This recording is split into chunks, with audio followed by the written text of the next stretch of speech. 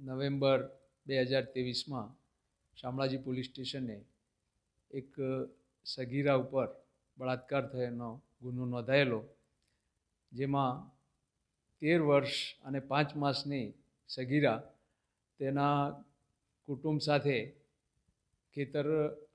ખેતીકામ માટે બટાકા કાપવાનું કામ કરતી હતી અને તે વખતે તે સાંજના સમયે રાત્રિના લગભગ અગિયાર વાગે લઘુશંકા માટે ગયેલી, ત્યારે પાછળ પાછળ આ કામનો આરોપી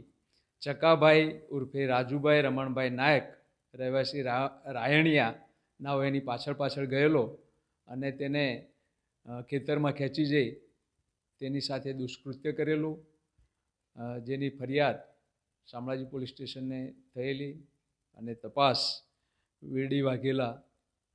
નાઓએ ગુનો દાખલ કરી,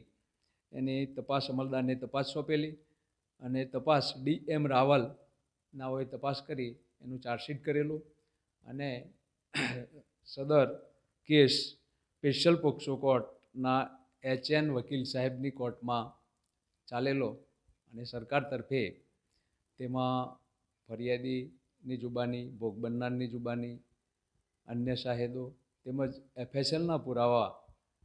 માં જે એના કપડા ઉપર બ્લડ આવેલું વગેરે પુરાવાઓને ધ્યાનમાં લઈ નામદાર કોર્ટે આરોપીને તકસીરવાર ઠેરાવી અને વીસ વર્ષની સખત કેદની સજા અને રૂપિયા દસ હજાર દંડ ફરમાવવામાં આવેલ છે.